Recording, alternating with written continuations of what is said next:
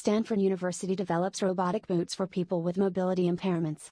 Stanford University's robotic boots enhance mobility with intelligent sensing technology, allowing users to walk faster and with less energy, revolutionizing wearable tech solutions for individuals with walking impairments.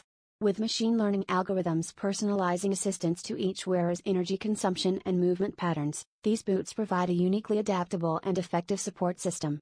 Users describe the sensation as having a spring in their step, illustrating the potential these boots have to bring ease and independence to everyday activities for those facing mobility challenges.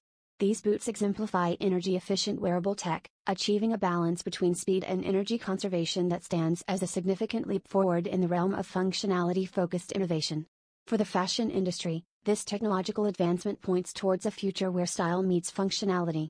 Fashion brands stand to benefit by leveraging such AI and robotics to offer garments that not only look good but